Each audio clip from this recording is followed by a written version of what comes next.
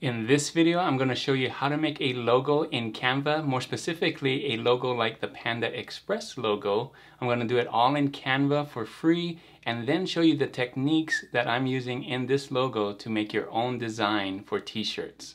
Let's go.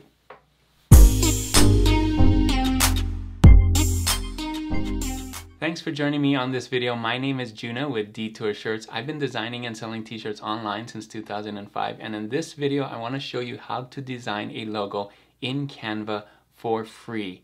Now one of the best ways to learn if you're a beginner is to copy somebody else's design and so we're going to do that we're gonna drag in the Panda Express logo into Canva and kind of copy it as close as we can in Canva. And by that way, we're gonna learn some of the techniques that you need to do to make a logo like it. And then we're gonna use those techniques to make a different design that we can use on t-shirts. So uh, you don't wanna copy a logo, but it's great to kind of learn how to do it by copying not to sell the copied logo. You don't want to sell it. You want to learn the techniques. And I'm going to show you how to do it in Canva. I'm going to show you all the things that you need to do. And then at the end, I'm going to show you how to flip it and make it your own design. So let's get into Canva right now and I'll show you what I mean. All right, so here I am in Canva. You can see I already started an artboard. You can do the same um, when you're on the home page. Just start a new artboard. This is 4500 by 5400 tall and I dragged in the Panda Express logo right here just as a reference. Now the way to do that is you can just Google search. I typed in Panda Express logo transparent. Um, click on here. You can see it is transparent background. I'm just going to pull it to my desktop like this. Uh, you can't really see it because it's outside. But then when you get to Canva, all you have to do is drag it in here and it'll place it in. And then I just sized it, right? Like that. So I made it about half the size so that I can work right here and you can see how I'm going to make something just like it. So first things first, let's start with shapes. So you can see there's multiple shapes here. There's this big circle at the in the back. There's this smaller circle, this red circle right here. And then there's these two small dot circles right here. We're not going to do this R right here. That's the registered trademark.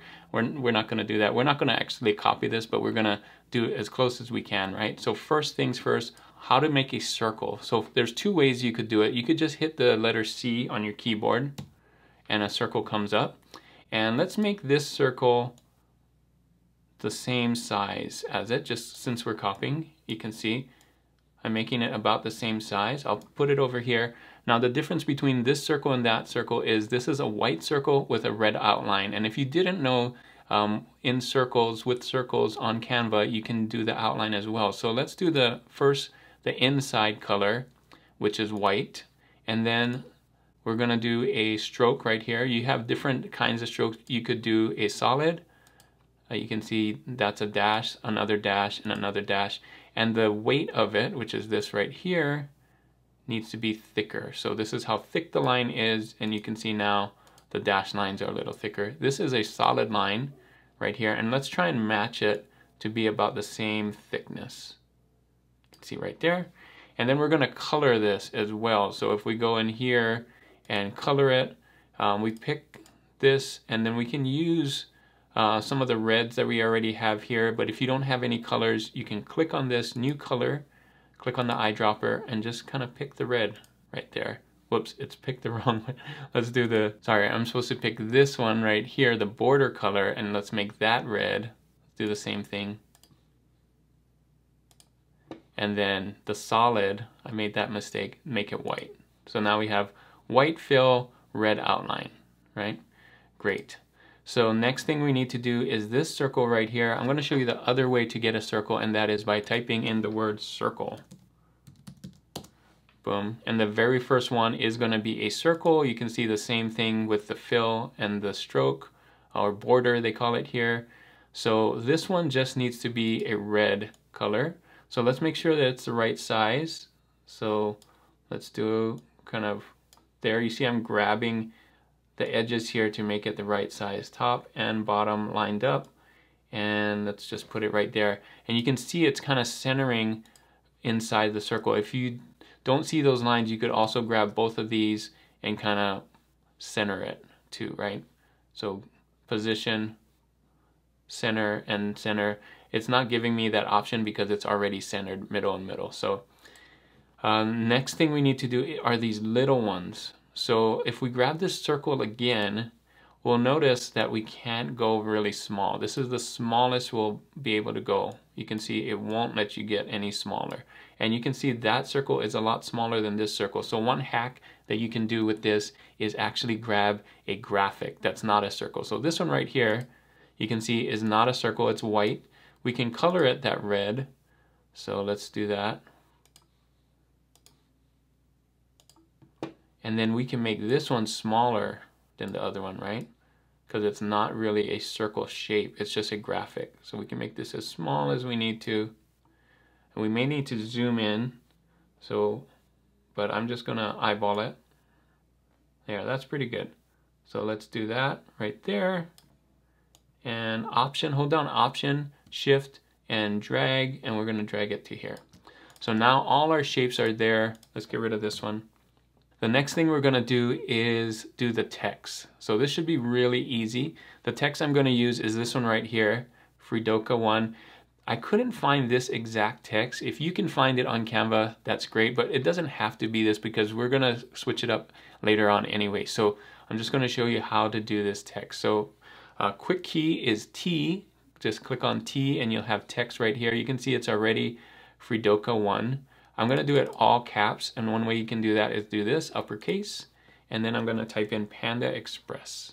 So Panda, whoops, Express. Now let's move this over here. And then one way to do this is to do the effects. So we're going to do curve. We're going to make it as big as we need to here. Kind of like that. So we're we're kind of eyeballing the space. You see that space above the E and below the E? So let's try to do that. And we want to center it. So let's just click on this and hit the up arrow until you see the space kind of matches. Great. And then we can play around with the curve. So instead of 75, let's do a little bit like this right there. You see that? Perfect. So the next thing we're gonna do is do Chinese kitchen. You can see that one is a little smaller. So let's copy this option and drag down. And then let's flip it. So effects, instead of 72 this way, we'll do 72 this way or so. But this one's gonna be smaller, so it's gonna change. Let's do Chinese kitchen.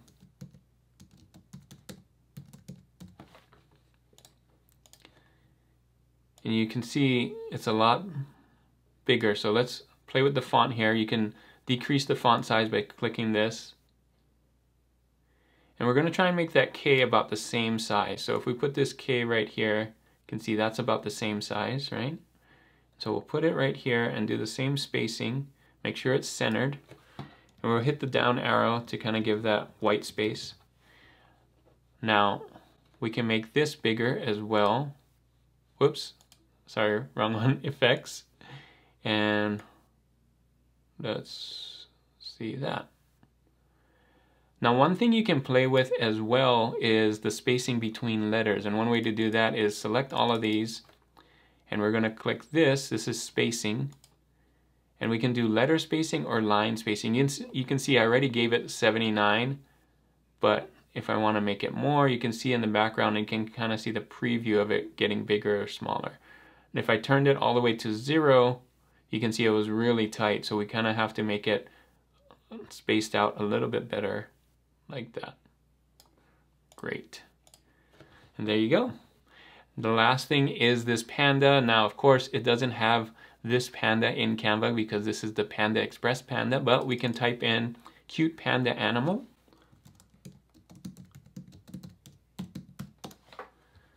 And let's go graphics.